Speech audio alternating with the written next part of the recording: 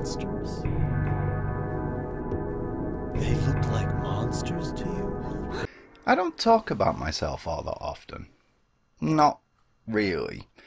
I'm a rather private person, not prone to airing my dirty laundry in public, as they say.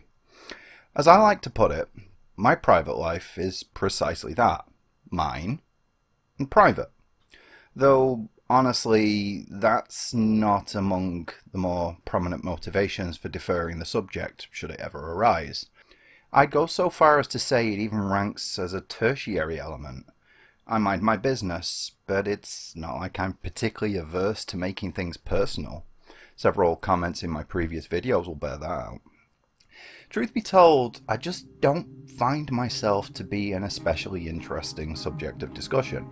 I've already lived through everything that I could tell you about myself, and I just don't see much reason in going over it a second time like watching a film, even if it's one that I'm especially fond of. If I've just watched it, I'm not likely to press play and immediately go through it a second time. So when people do ask me about my life, I typically reply with something broadly non-committal. Perhaps commenting on something mundane or broadly indicative of my recent activities. More commonly, I'll talk about something tangentially related, my daughter asked me for a new toy, I'm planning a trip with my wife, that kind of thing. Something that ties more into other people around me, you know what I mean? Then I'll move on and steer the conversation to something else that I just find to be more interesting. It seems to work out quite nicely for me because most people do tend to be more self-focused after all. Not that that's a bad thing, don't get me wrong. I'm extremely focused on my own life. Since, you know, it's my life and all. It tends to be amongst the most important things in, well, my life.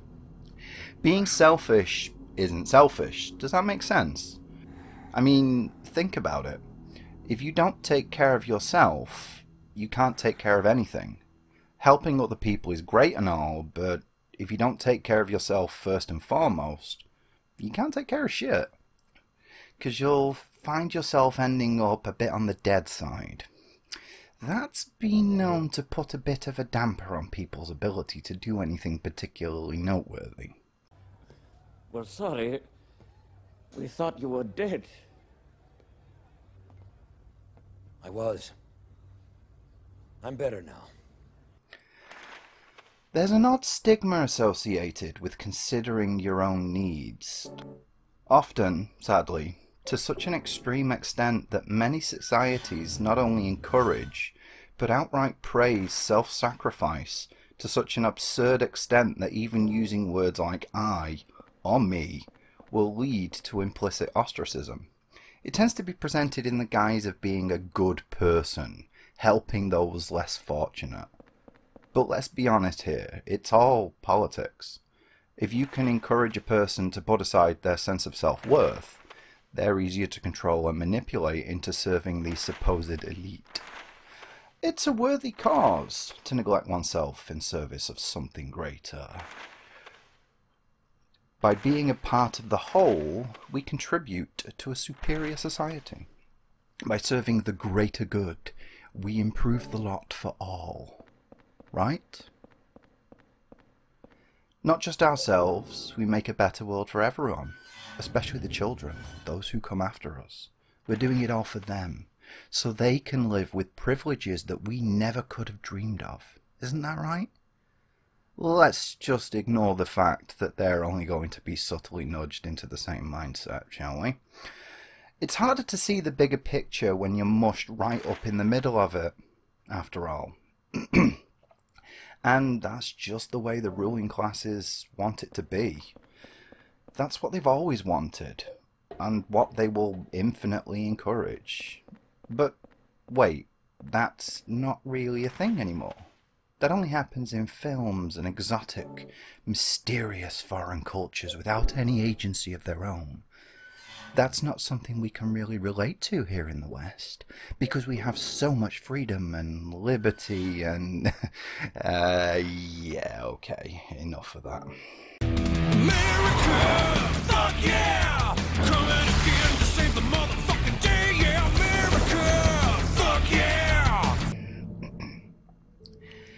See, I'm doing it again, wandering off on a tangent.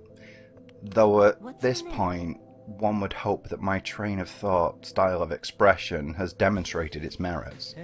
All of this, as tangential and confusingly lateral as it may seem, does bear direct and intimately significant relevance to the subject at hand. O oh, ye of little faith. Get used to this, by the way, because that's just the way my mind works.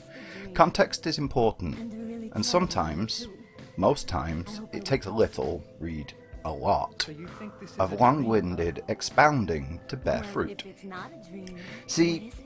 I don't talk about myself all that much, and that has nothing to do with my views on social control. It's not about me being ashamed of who I am or trying to obscure facets of myself to give my life an air of added significance that it doesn't possess. I genuinely just don't find interest in repeating information I'm already cognizant of. But that's not to say I obfuscate things either. There are quite a few tidbits about myself that are openly, readily available. My full postal address is listed in the About section of this channel, because I genuinely have nothing to hide. And if someone really did want to find me, it's all part of public records anyway. So just save people the hassle of digging through census data and let them go straight to the source. If you want to know, just ask. Anything that is private, I'll just say so. And I'm not going to be offended in the asking. Curiosity should be encouraged, not derided. No harm, no foul, right? But okay, Wait a minute. let's bring this back on track. Get to the point I've alluded to. I have anxiety issues, as many in the modern world do. Quite severe and debilitating. I've never hidden that. It's one of the few pieces of information I freely volunteer on a regular basis, because it's immediately relevant to how I am and how I present as a person. Agoraphobia does not inform who I am, but it does greatly influence how I interact with the world around me and the people that I meet. And a lot of that anxiety stems from my observation of the way the world works. Big brain me. Whoa. So, what does this have to do with Silent Hill 4? Because it's been long enough of my rambling that you have to be at least a little bit confused by precisely how long I've spent going over this. I mean, you came here to hear a dissection of a psychological thriller, so what does social control and identity politics have to do with all that? Apart from everything, depending who you talk to, because it does seem to pop up absolutely fucking everywhere for any reason because we all have to be told how terrible we are for not supporting X ideology. So I'm just jumping on the bandwagon. Internet journalists and all that. Or maybe go fuck yourself. I have no patience, none, for that kind of self indulgent grandstanding. If your sole purpose in life is to shove your chosen ideology down everyone's throats, taking every opportunity you possibly can to start grandstanding about how everyone you disagree with is literally, oh Satan bin Hitler, well, there's a time and a place. Honestly, you know, go for it. And sometimes, often even, it can be extremely fruitful and directly relevant to the subject at hand, just without the preaching. There's never going to be a right time and place for that. Just, isn't. Okay, my own preaching. Oh, the irony. Real big on irony around here. My own preaching aside, there's a valid case to be made for politics being relevant to Silent Hill 4. See, though we may often consider the phenomenon of hikikomori to be a recent trend, it actually has its origins in the 1990s, with the early 2000s marking its progression to a recognized part of the Japanese cultural zeitgeist.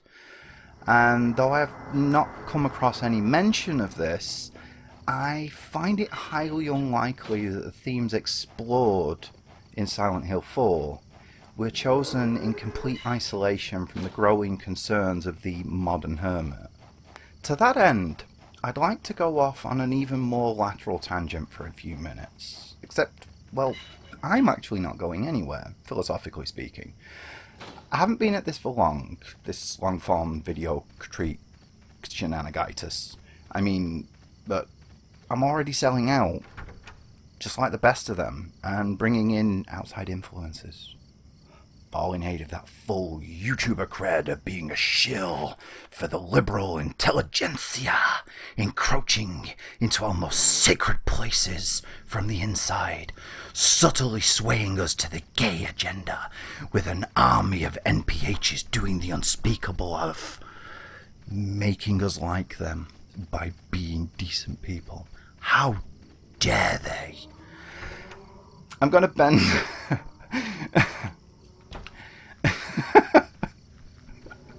what did I write? anyway, I'm gonna hand this over to a friend of mine for a few minutes. Uh, because one of the best things about the Silent Hill series is how intentionally unclear so much of it is. As valid as my own interpretation of the source material may be, there's rarely one clear cut takeaway. And yet, there are certain truisms that just seem to coalesce out of the ether. Sometimes it's all a matter of perspective, and it can be extremely beneficial to take a second opinion. So, take it away, Devin. Howdy, folks. It's me, Devin, and I was given the microphone here to interject a bit, with permission, of course. So, I'd like to take the time to build on what Bob said here and add my own piece. But before I do that, I think I should state that I'm personally not agoraphobic, but I come from a place where I think it can look at Silent Hill 4, especially the titular room, with a sort of alternate but possibly similar perspective. I've spent a good 95% of my life growing up in apartments such as the ones you find in this game. Granted, they were nowhere near as small or dingy, but Room 304 is uncannily similar to the places that I spent, well, most of my life in. With dull, small white rooms with narrow, claustrophobic corridors that interconnect them all. And while homes feel lived in once their occupants add their belongings, there's something particular about apartments that make them feel more alienating than a regular house. Because no matter how long you live in them, they are still very much transitory, and are more akin to a big hotel room in which you can spend a few decades in before it's handed off to someone else. Beyond that, I'd like to mention that I have suffered with depression for years now. And while I've gone much better in the past couple of years, there are times when I find myself slipping back into old mindsets and habits. When I first started to sink into it back in my early high school days, I I'd stay up for hours in my room, basically pacing back and forth in the dark to at least well, keep my mind active while I fought to myself. And the smallness of my room became all the more, you know, apparent, becoming immediately more familiar with my room and later the entire apartment that I was staying in, and I began to feel like I was sort of bound there. Of course, I was never physically stuck anywhere, especially when I was an adult, but I had become so accustomed to the environment that felt cold to me that I didn't seek out any change. While I felt trapped, I felt oddly comfortable in my position. I gave Silent Hill 4 a proper go when I was at a real low point, and oddly enough, I felt connected to both Henry and his apartment. Despite Henry being seen as a sort of blank slate, I too was feeling very disconnected from others, and hell, I spent the better part of my sophomore year not speaking to anyone at school until I met a group of really nice people that became some close friends through high school. I had basically been cut off from people, and that, to put it lightly, uh, sucked ass. But it was the apartment that really caught my eye. The way you interacted with it and became more familiar with every nook and cranny, and the constant visits back with the endless pacing. So, when there was a change, no matter how acute, you became hyper aware of it. When I was heavily depressed, my room felt like it was in a sort of stasis, kind of forever stuck in one place with me in it. So any disturbance to that was, well, frankly shocking. You kind of just become accustomed to that odd, unbreakable stillness. Luckily for me, that stillness was breakable, and after seeking help, I'm in a much better state of mind than I was before, and I'm gayer than ever, uh, in both senses of the word. The mental walls that had kept me down were mostly obliterated, and now they're just physical ones that hold up the roof to keep rain off me when I sleep. Not that there's much rain here in SoCal to begin with. However, when I go back to Silent Hill 4, every now and then, I see myself from a few years back, especially when I pace around room 304. Anyways, sorry for the rambling, folks. I'll let our humble video producer get back to his video mostly undisturbed. Thank you. I'm Gonna go off script for a minute there because um, that's the second time I've listened to that now, and I expected something quite profound because you know he's a smart kid, Devin. We've known each other quite a while now. We met through another YouTuber that we both have formed a friendship with, and I really don't know what else to say. I suppose I expected him to be quite personal, but not that personal, if you know what I mean. So, thank you. It's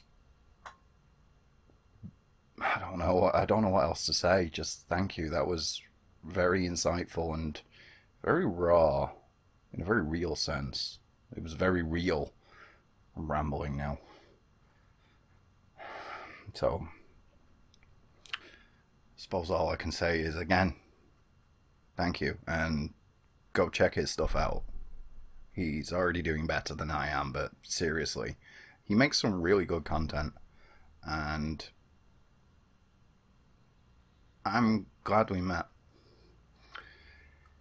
right, well, whether intentionally or otherwise, Silent Hill is the definitive artistic exploration of what it truly means to be agoraphobic. And I'm absolutely baffled that it hasn't been discussed through that lens in more detail.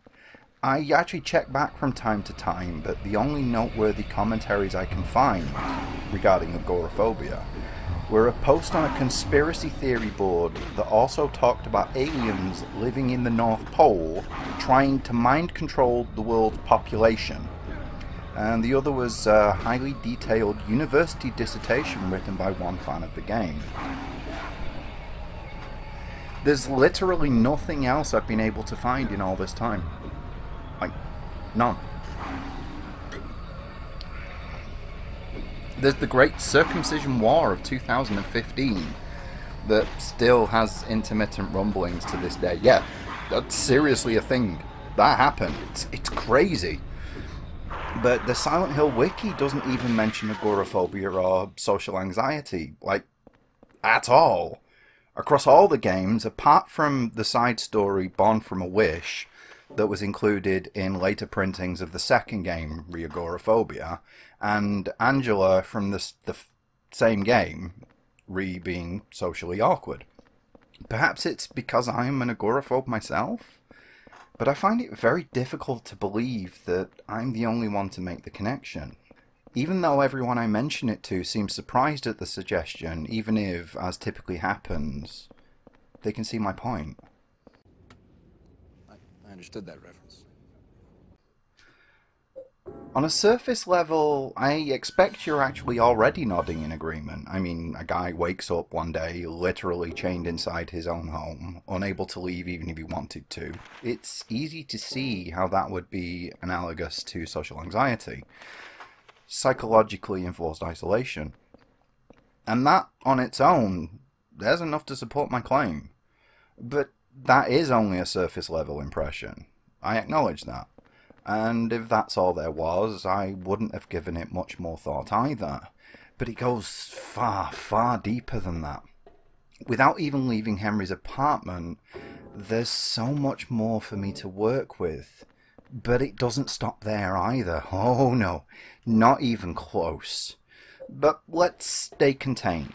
Isolated, if you will, for now.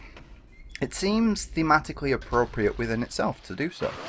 It's generally accepted that Henry has only three ways of interacting with the world outside of his apartment, discounting the hole in his bathroom that allows him to leave. There are actually five, two of which he can't really actively engage with, something else which already reinforces the sense of impossible loneliness Team Silent were overtly intending to impress upon the player. And even before we get into them, we need to look at Room 302's first person perspective. It makes everything feel oppressively small and all the more restricting because of how uncomfortably intimate it is. Where in most games, a first person camera allows us to feel like we embody the grand hero, battling their way through insurmountable odds with apparent ease. Being trapped in a tiny apartment, separated out into even smaller rooms, already starts breeding a sense of unease. Like a trapped animal pacing its cage without any way to express how it's feeling beyond impotent rage. That's what it feels like. It's easy to understand, empathize with, but it's very different to actually live through, let me tell you. Knowing what it feels like and knowing what it feels like, there's a world of difference between the two. I sincerely hope nobody else ever has to live through the utter helpless hopelessness of being a prisoner inside their own mind because it extends beyond the physical. It's not the physicality of it that gets to you, it's the barriers inside that are the real kicker. That's what keeps you locked inside, physically and emotionally.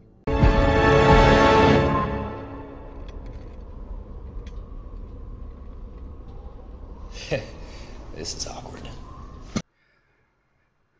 The thing that really starts to drive all this home is when you take a goosey through Henry's front door's peephole. Opting for clarity over immersion, the typical fisheye effect we'd expect is greatly toned down because there are things going on in the hall that we need to be aware of from a narrative perspective. We need a bit more clarity of vision. The, this is offset by the odd smears of colour loosely circling around the outer rim of the lens. It can take a little while to realise, but once you do, cannot unsee. That's Henry's eyeball. Even before we've gotten into the most basic elements of the game's greater universe, even if it takes us a few times before we notice, it's already there in the periphery of our perception, subtly reinforcing how desperately trapped Henry feels, so hopelessly, impotently yearning for any external recognition that he's pressed so close to the door that his eye is almost touching the glass of the peephole, wide, unblinking, fixated on the thin curves of glass with such intensity, it's almost like he's trying to will himself through the wood into his neighbour's attention by sheer force of will alone. The unblinking part is more likely nothing more than a design choice, either not wanting to break the mood by having the screen sporadically flash black for a third of a second, or just not even thinking about it. I suspect the former, though. I mean, after all, we don't need Henry to blink for us. We're quite capable of doing that ourselves. Which raises an interesting discussion around immersion and how much is too much. But we'll come back to that another day. Probably. Maybe. That's not the only glass Henry can mush himself up against, though. There are several windows across the back wall of his apartment, and you can look out of them too. Tilting your head side to side and up and down, craning your neck to see as much as possible. You'll find yourself doing that, I guarantee it. Not just by moving the controller, but you actually trying to see more of the outside world. Very occasionally, you'll see something relating to what's going on, or at least what's about to happen, but most of the time, you'll just see people walking past on the street, cars stopping at the lights and taking turns, your opposite neighbours doing their own thing. You can even see two of them apparently engaged in a close relationship, moving back and forth between each other's apartments if you pay attention. It comes up later in logs as well, but get into that some other time. Um, Some of the neighbours will look up towards your room, seem to stare directly at it, but just not see you, not even notice anything at all. Reinforced by one of the conversations you can overhear at the front door. Your immediate neighbour, Eileen, asks the chap opposite if he can see anything.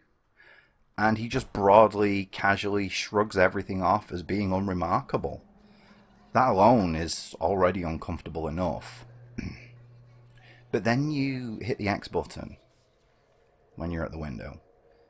And you hear Henry starting to bang on the windows, shouting and hitting the glass hard enough that it shakes. Same with the front door, screaming for help. But nobody notices. Within the confines of the game's lore, it helps demonstrate the more supernatural aspects at play. After all, Henry's door is literally chained shut one day, from the inside, when he wakes up, without him noticing, without any clear way for someone to have come in, set it up, then exited. And now he can't even break a few sheets of glass? Can't even be seen by people looking directly at him? That's disturbing. It's already disturbing enough on its own. But consider it from the perspective of someone who's lived through the emotional analogue of physical imprisonment. I've spent many an hour stood by my window, just looking outside at, at anything. Equal parts pining to be out there, whilst repulsed and pulling away because of a deeply rooted, fucking infuriating, irrational urge to curl up into a ball and pretend that nothing exists beyond the extremities of my own body. I've had panic attacks from hearing people talk outside my window from the other room. Don't even need to see them, just hearing voices. Gets the palpitations going. it's okay. It's all in your head. There's nothing to be afraid of. Yeah, no fucking shit, Sherlock. It's a phobia, you intellectual Morlock. Thanks so much for pointing out how childishly illogical I'm being. Not like I don't spend enough time in my own head, pounding my own asshole about it. Wait till I get going. Where was I? Well, anyway. Take the wood and glass and look at them a little more laterally for a moment. Cast them aside as real, tangible, physical objects and back up a little further. Retreat, like I did, behind the walls of your own mind. Try to imagine the inner discussion going on between the rational, logical Western Hemisphere and the base, purely instinctual cerebellum. You see, agoraphobia, anxiety, and mental ill health in general is fundamentally linked to the brain, and more specifically, how different sections communicate with each other. We have this idea that specific parts of the brain do specific things, and there's some truth in that, but it's also grossly oversimplified. The brain is an organ. An organ. It's a singular organ. It's comprised of a multitude of little knobs and bumps and twaddles and switches, but it's a single piece of equipment with a multitude of functions, kind of like a computer. Hence all the comparisons people keep making between them. But a computer has individual components that do actually do specific things, with very little overlap. A GPU makes the graphics. RAM dictates how much your rig can do at once, things like that. And whilst you can have CPUs that will also output an image, it's not literally the CPU doing it. It has extra bells and whistles inside that do it at the same time. You follow my meaning? The brain, meanwhile, does do all of those things on its own, with the very real ability for different sections to step in and take over if the original component is unable for some reason often so efficiently that there's no degradation in ability whatsoever. That would be like a single stick of RAM being able to do everything a computer can do on its own without any extra diodes or chips or anything. Literally, a stick of RAM would be an entire computer. Obviously, it's not exactly like that, but the analogy will suffice for current purposes. for example, a deaf person doesn't need the parts of the brain that process sound, right? Since they can't hear anything. That part of the brain is now completely useless. You could just cut it out and they wouldn't even notice, and that's actually not far from the truth. The last part. But everything before that, well, those hearing centers will step up and continue to do the same job, actually, processing incoming stimuli. But it'll add those efforts to other parts of the body instead. It'll sort of spread out and deal with all the incoming stimuli. Since the deaf person can't hear, the brain reassigns those assets to bolster other senses as a sort of workaround. This is why we hear that a blind person can smell better than someone with all of their senses intact, for example. The actual nose isn't more or less skilled, it just has a bit more attention thrown its way. You see what I mean? The brain isn't nearly as straightforward as this lump controls how hard your wank gets, even if that's what it actually does do. Um, there's a lot of back and forth and cross referencing, like a development team. Good one. Um, they all have to work together, but they all have their own roles. But if Alan doesn't know he needs to add details, the wrong person can get the message. Or the wrong message could be interpreted because of some other distraction. Now could you send us three and sixpence? We really are going to a dance.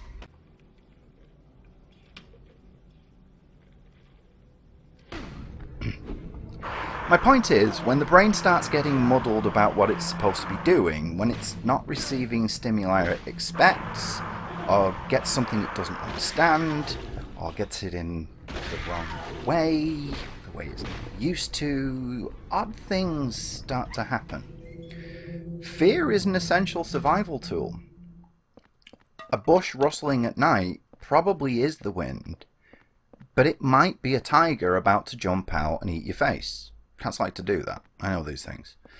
And if it is a tiger, it will run faster than you and almost certainly get you long before you have any chance of starting to sprint. Never mind anything else. They are the apex predator after all. They'll take a freaking elephant in a one-on-one fight if they're pissed enough. Seriously. Tiger will have an elephant. And it's not clear cut who's going to win, but the tiger does have an advantage despite the size difference and how thick elephant skin is. Have you seen one of those elephant guns? They can punch through a fucking tank. anyway, um, the fear response throws all those logical thoughts out of the window in the moment and tells you to bolt. Because you can worry about how stupid it is trying to outrun a tiger after you're not dead. Or be dead, because it did get you. Either way, the logic of the moment doesn't matter anymore. Thing is, we don't live in caves and fields anymore. We live in firmly constructed housing of brick, steel, and concrete. As we established earlier, even a tiger isn't nails enough to chew its way through a metal cage, let alone a building wall. So it doesn't matter if the rustling bushes are a tiger, not anymore. You can just shut the door make a cup of tea, and watch it trying to intimidate you to death through your bedroom window. Apex this, Tony. Sorry, I, I love tigers. Um, they're my favourite animal, like, ever. What was that about getting to the point? right, so, take the window and doors and think about them symbolically. Bearing in mind everything I've just gone over, literally pounding on a window is, of course, going to attract someone's attention, assuming you don't put your fist through it first, which would also be quite noticeable, shockingly enough. But if you think about it more from the internal perspective of someone with any form of mental ill health, anxiety in particular, it takes on a much more personal, internal meaning. It's our internal needs and desires clamoring against the skull, desperate to get out and be recognized, but unseen by all except the individual.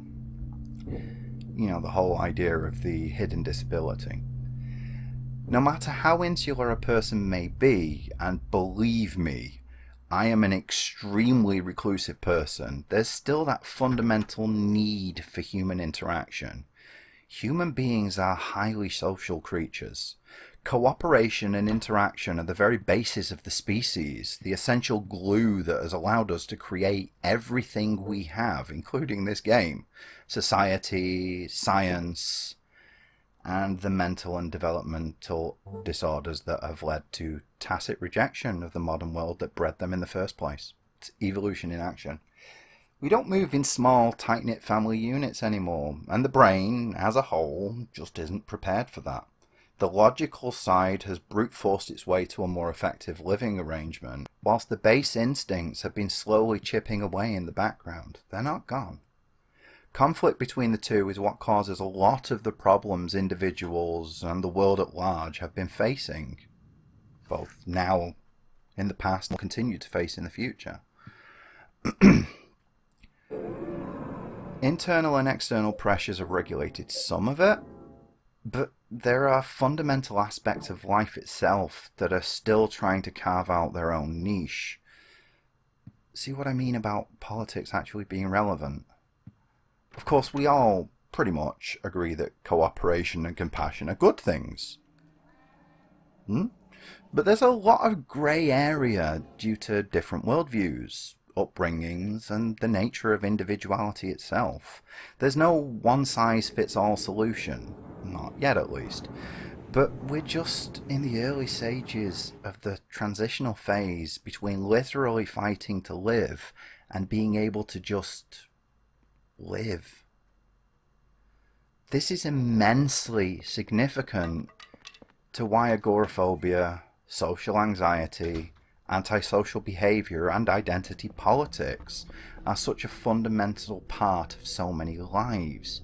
We don't know where we fit as a species anymore, and that translates into uncertainty around where we fit as individuals. Consensus will come, but it takes time. And the more people we have going along with the flow, the more difficult it becomes for those outliers to adjust. But because of the apparent pressure of being the odd one out, we try anyway. Try and fail. Maybe overtly we seem to be doing okay, but it's all the stuff beneath the surface that's the real problem. That's what keeps us trapped inside our own mind and inside our own homes. It's such a bizarre duality. On the one hand, the isolation is stifling.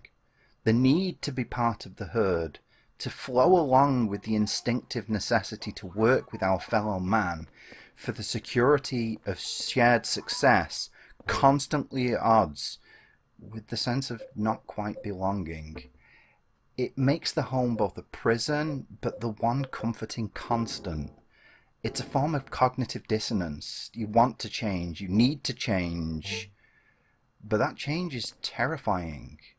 So the home becomes a refuge as much as a prison.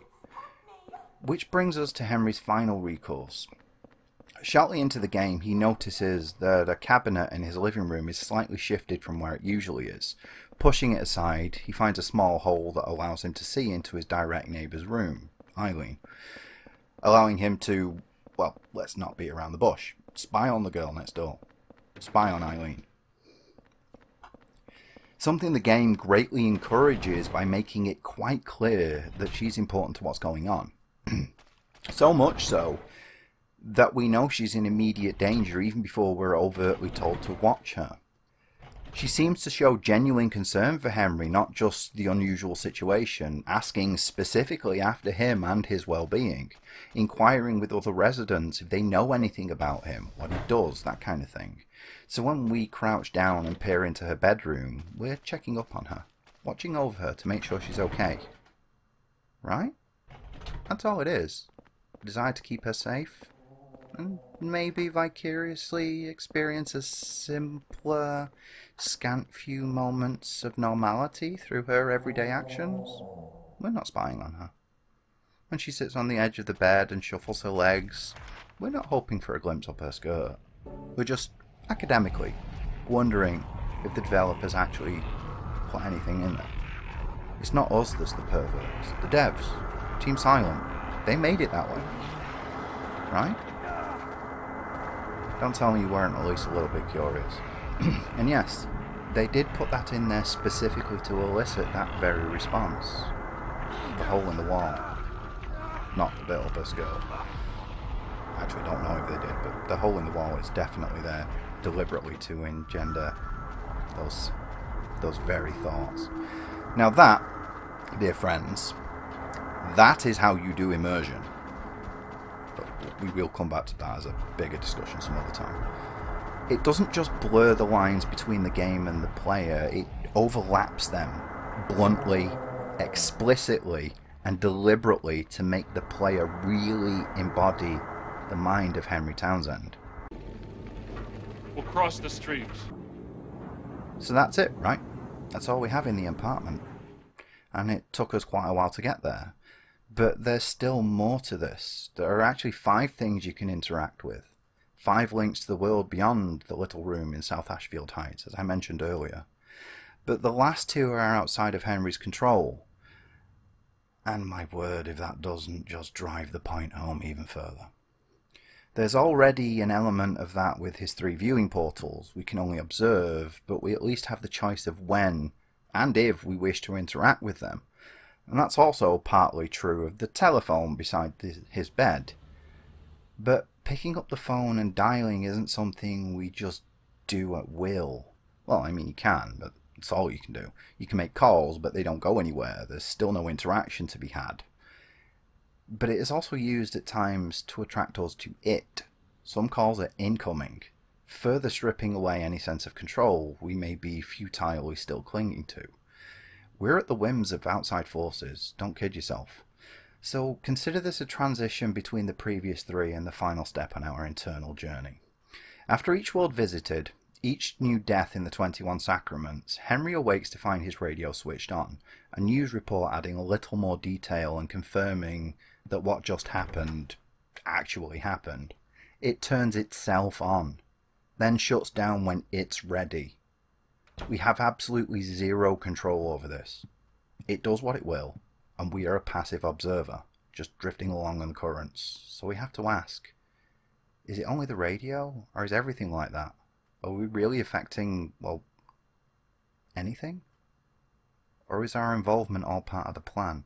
Now you can turn the radio on yourself, and you can use it to spot um, to give you a heads up of um, the hauntings later in the game, but it doesn't do anything other than make noise. You know, you can't tune it to a specific frequency or anything like that. You can't get a radio, so you know, like a radio station. So these news reports are the only thing it does. And you have no control over that. Anyway, um, this has already gotten quite long, um, uh, but there's still a lot more for me to talk about. However, as I said at the beginning, it seems highly appropriate that we keep it contained and we end here, for now at least. Keeping it, you know, inside Henry's apartment. How apt, eh? I'm not going to make this a two-parter per se, but I probably will return in the I, I will return in the future to expand on what I've said here, you know, add more details. For now, however, I feel I've made my point quite firmly. I want to thank Devin for his contribution again. I'm sorry I rambled about that. I just didn't know what else to say. I was a bit taken aback by how personal you were. I, you're a damn good writer, kid. You keep going. You're very insightful. Um, but I wasn't expecting something quite so personal to me, if that makes sense. His content, as I said, is extremely insightful, and his contribution actually informed a large chunk of the latter part of the script. So I strongly recommend that you mosey on over there if you haven't already. I'll put a link to him down below, all the usual. As for myself, I have a Patreon. If you feel so inclined as to support my future endeavours, do all the usual down below. Any support you offer will be appreciated genuinely. I'm doing this as a passion project, but that doesn't mean I don't want feedback, so... What, not more to say really, is there? so, brings us to the end. all I have to say now is until next time, when we will find ourselves skating along the reflective fringe. Thank you for watching.